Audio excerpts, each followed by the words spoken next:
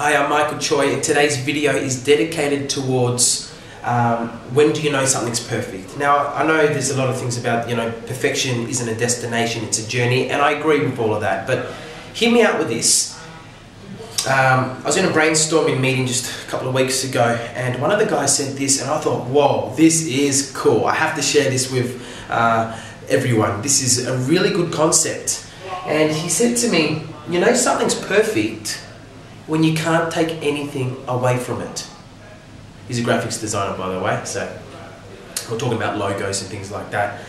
And rather than keep on adding things, it's more about sometimes taking away things. Like you look at uh, a lot of uh, well websites, uh, website addresses. Um, people used to have www in front.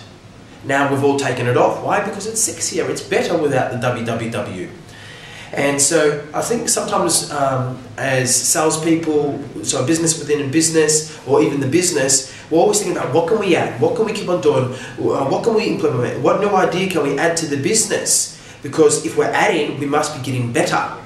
Sometimes if you're adding things, it could be getting worse. There's just too much going on. This is it's not simple enough.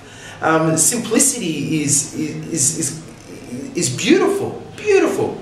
And so this was interesting. So rather than us thinking about what can we add to the business, sometimes I think it's important to just hold five, take a snapshot of the business and go, hey, what can we take off the business? What can we take away from the business that will actually enhance the business? And, um, you know, it's, it's, it's about taking, a, a, you know, just take half an hour of the day and go, what can I take out? Because just because something got you here doesn't mean that that same thing's going to get you there.